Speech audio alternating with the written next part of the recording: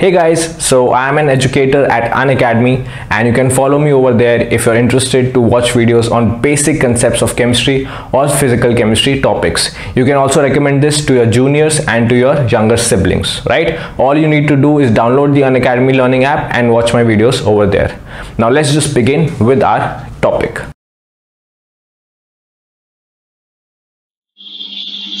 So uh, many of you were requesting me a video on BARC interviews, like how to prepare for the BARC interviews.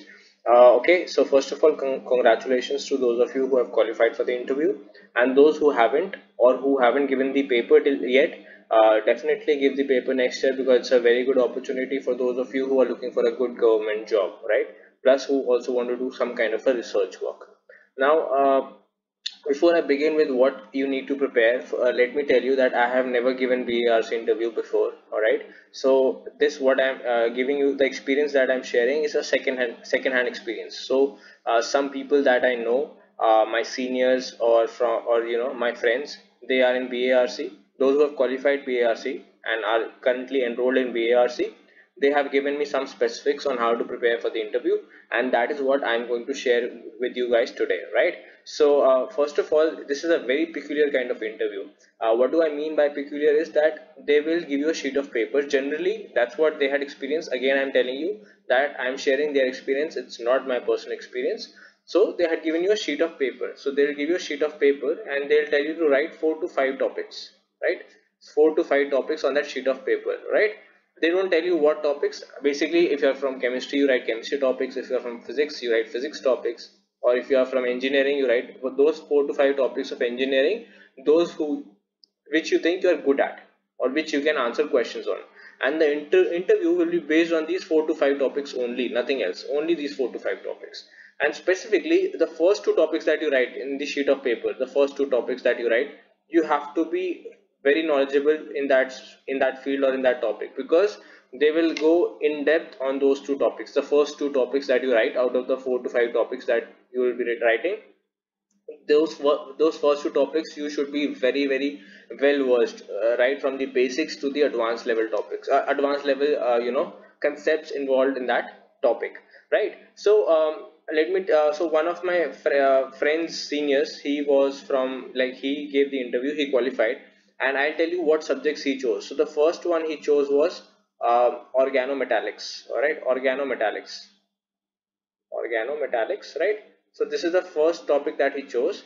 Um, the second one was named reactions in organic chemistry. Name reactions, name reactions in organic chemistry, right? Name reactions in organic.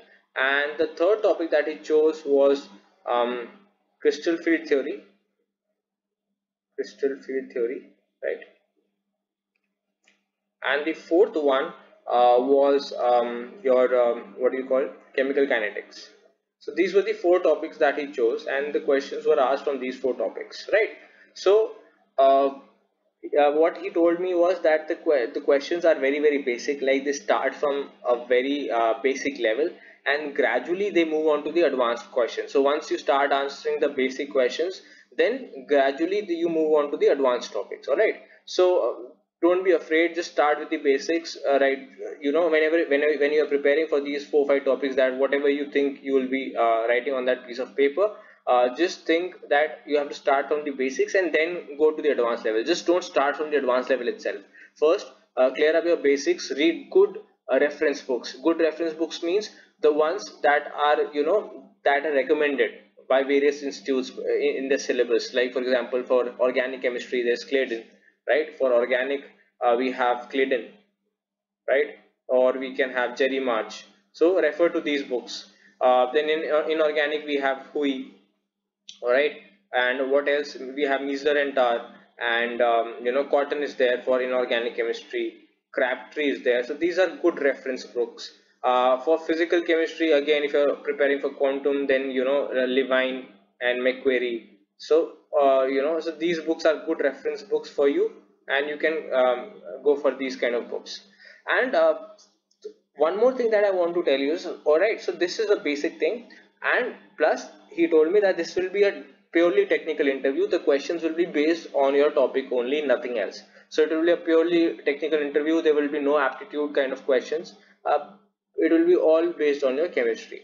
And other thing that he told me was that the interviewers are very very chilled out people. They will encourage you at each and every step. All right so don't be disappointed if you're not able to answer a few questions. They are very encouraging people. No need to be nervous around them. All right and don't try to fool them. That's that that's what i say for every interview. Don't try and fool them because they are generally distinguished scientists in their own field. So they'll have a very you know they will be they will have a very um, what do you call like in-depth knowledge of their own subject. So don't try and fool them in in those topics whatever you're writing. Just prepare them well. You have about one month. Uh, i hopefully every most of you would have chosen dates um, around the last dates. That is 29th may 30th may or 1st june. I think 1st june is the last date. So hopefully you guys might have chosen those kind of dates. All right and the second dog right. So this is there. And the technical interview is very long all right? So this will be one of the longest interviews that you might have been giving in your life. Uh, it can minimum it goes till one hour. And it can go up to one and a half hours as well. One and a half hours or one hour. Minimum is one hour right? At least for one hour the interview will definitely be on right? So be prepared for a long interview. And uh, if you need a break in between just tell them you know just have a sip of water or something just take a break. Um, it's all, all, it's all right to ask a break. There's no uh, you know there's there should be no kind of uh, uh, embarrassment or there should be no kind of disappointment if you ask for a break all right? If you need a break just ask them give me two minutes i just need to have water. And then you know refresh your mind and then start again. In case you are feeling that you are not able to answer the questions that you know of then just ask them to take a couple of minutes break have some sip of water and then start again. All right. Now this is what was given to me the information that was given to me. Now talking about the logic that we can use. All right. So if you see the subjects that uh, that uh, he chose they were organometallic. Name reactions in organic chemistry. All right. Crystal field theory and chemical kinetics. Now what i feel is if you look at this graph that i have drawn on the uh, left hand side this graph over here that i've drawn uh, I have written over here depth and over I have oh, written over here broad. By broad means broadness of the topic. So for example, organometallics. Organometallics is a very very broad topic. Alright, so organometallics is a very broad topic. So the I, I feel alright, this is my logic that I'm using that if the subject is very very broad, whatever topic that you have written is a very broad topic. So the questions, uh, the depth of the questions will be very very less. I mean they will not be able to go deep in those questions so they will be able to ask you the basics. But organometallics is such a vast topic that they will only be able to ask you basics. They would not have the time to go into the advanced uh, not advanced level topics or advanced level organometallics because organometallics in general is very vast. So they'll ask you basics of different kinds of um, topics which are subtopics which are there in organometallics. But if you go for very specific topics like for example if i write um, if if in my sheet I write NMR spectroscopy since since I since I'm very good at uh, NMR spectroscopy so sorry about this. So if in my sheet I write about NMR spectroscopy right? So if I write about NMR spectroscopy then NMR spectroscopy is a very specific topic. So if I'm writing a very specific topic that means the broadness of the question is decreasing the depth will increase. So if I am writing a topic like NMR spectroscopy then the depth of the questions will be very uh, the questions will be very deep all right very advanced topics also will be there various advanced subtopics will also be there in NMR spectroscopy. So be careful of this. If you're writing a very very specific topic like NMR spectroscopy, um, it is a very very uh, expect questions that will be going to very advanced level, right? So if you're writing very specific topics like NMR spectroscopy or IR spectroscopy, or you're if you're writing spectroscopy, then that's a very broad topic but if you're specifying which spectroscopy like NMR spectroscopy or IR spectroscopy then you are you are basically narrowing down the narrowing down the uh, broadness of the topic. You are going to a very specific topic. And if you go to a very specific topic be uh, be sure that you know that topic in and out. Because then very very high and advanced level topics will be asked from that particular uh, whatever you write. Like for example NMR spectroscopy. So if you have great in-depth knowledge of NMR spectroscopy, then I think you can write NMR spectroscopy. Because if you see the topics that he had chosen, organometallics is a very broad topic. Then name reactions in organic chemistry is also a very broad topic. There are thousands of name reactions in organic chemistry. So again, the they cannot go deep inside a name reaction right so they they have to ask you many name reactions all right it could be also there that the examiner thinks he he catches one name reaction only and goes in the goes into you know goes in deep uh, goes in depth of that particular topic. It could also be there. But in general he will ask you various various name reactions and he would not have the time to go deep in that particular topic. Then crystal field theory is a very specific topic right? And chemical kinetics is again a very broad topic right?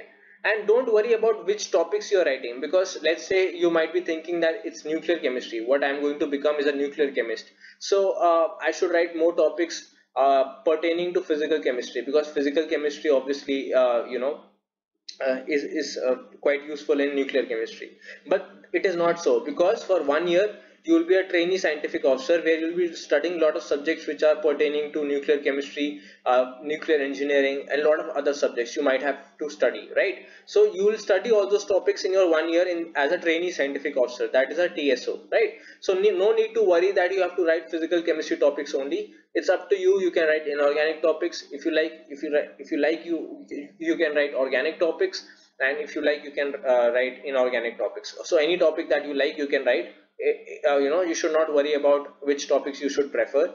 But yes if you are choosing topics uh, which have organic inorganic and physical right? If you choose two topics from organic let's say organic is strong and inorganic is strong. So if you're choosing two topics from organic and two from inorganic then i think it would be beneficial if you can choose one topic from physical as well. Because uh, that will give a, a you know that will leave an impression on the scientists those who are taking your interview that you have a uh, you, you are a whole package. You have uh, you know knowledge of different aspects of chemistry as well not just one specific uh, uh you know topic right? So yes if you have diverse like kind of uh, you know diverse kind of topics then that will be i think a plus point for you. Uh, like for example over here you can see that um, you know I'll just take another another color pen uh, all right. So like over here you can see that uh, there is organometallics right? Then there's name reactions. So this one is from inorganic. So this topic is from uh, inorganic right? Then this is from organic then again inorganic and then we have physical. So you can see there's a variety in those topics. And plus the topics are very broad mostly right? Crystal field theory is a very uh, specific topic but other topics are very broad. So again uh, i'll leave that choice up to you whether you want to go for broad topics or you want to go for specific topics. If you're going for specific topics i'll repeat again that is very important that you should be very very uh, uh, you should be uh, you should have very good knowledge of that subject in and out if you're going for a very specific topic right? Because that then the questions are going to be really advanced level right? Uh, now you have about a one about one month or 20 25 days to prepare for the interview. I might many of you might have might be having your final sem exams so it might get a little difficult but you know that's why maybe they give you important topics four or five topics that you're good at so that even if you do not have that much time to prepare you can actually still manage to somehow uh, give a, uh, go for a good interview. All right? So i hope this video was helpful to you. Um, if you like this video do share it with your friends because it's not that if you know this particular thing that they ask you four to five topics that you're going to qualify let your friends also know about it let them also have a fair chance of qualifying for the interview. May the best man qualify for the interview. May the best man slash woman qualify for the interview right? So all the very best for the coming semester exams and for your interview. And uh, do subscribe to my channel if you like the videos. Give it a thumbs up. And plus very important share it with your friends. All right? So thank you so much for watching and all the very best